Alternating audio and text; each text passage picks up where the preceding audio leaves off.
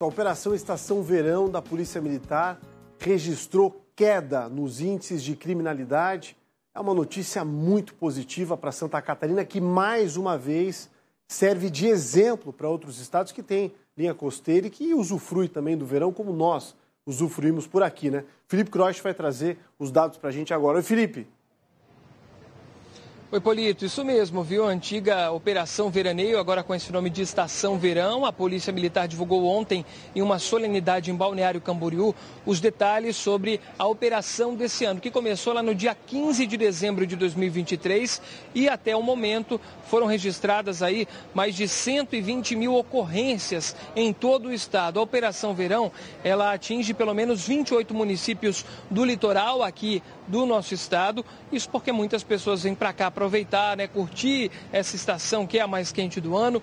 Também foram realizadas mais de 6 mil ações operacionais, segundo o que a Polícia Militar divulgou. Eles divulgaram também os dados sobre as principais ocorrências e, como você disse, notícia positiva, teve redução em comparação à operação do ano anterior. A gente tem uma arte para você conferir comigo, pode pôr a arte aí na tela para o pessoal olhar comigo. No caso dos crimes de roubo, né, em 2023 foram 493. Já nesse ano de 2024, na operação verão desse ano, foram 465, redução de 5%.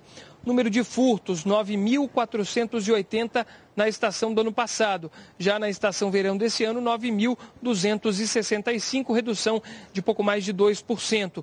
A lesão corporal teve uma redução maior, mais significativa. 111 ocorrências na última operação, na desse ano 75, redução que passa dos 32%. Já no crime de ameaça, 6.604 ocorrências foram registradas na estação do ano passado e nesse ano 6.116, redução de 7%. Vale ressaltar também que ao longo de todo esse período da estação verão realizada pela Polícia Militar e outras forças de segurança de todo o nosso estado aqui no litoral, nesses 28 municípios, mais de 11 mil pessoas acabaram presas por conta de algum crime aqui no litoral do nosso estado. E 944, 944 veículos foram apreendidos e mais de 300 armas ilegais também foram retiradas de circulação durante esse, esse período né, da estação verão realizado pela Polícia Militar aqui de Santa Catarina. Polito.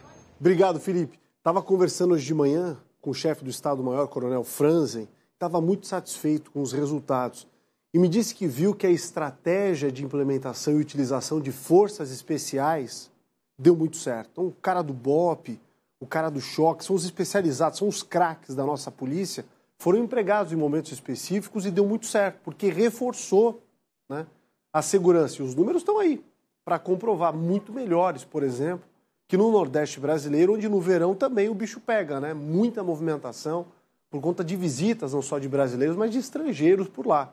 Tomara que as coisas continuem dando certo, ainda mais com a articulação da Secretaria de Segurança Pública, que, pelo visto, funcionou muito bem. Que a gente acerte cada vez mais. Parabéns à polícia. Na noite